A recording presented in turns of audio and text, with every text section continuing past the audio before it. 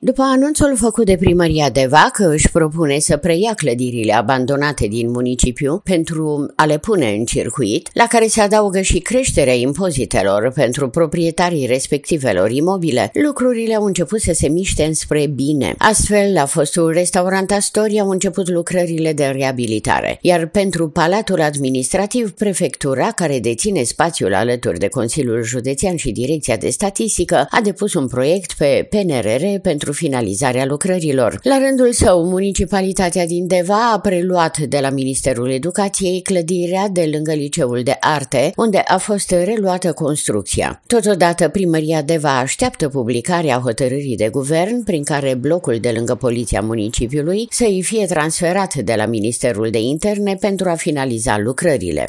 Clădiri abandonate. Început de lucrările 90-92 și abandonate. Le știți, nu are o să nu mai număr. Ne străduim împreună să le reabilităm. E vorba de blocul de locuințe de Poliția Municipiului.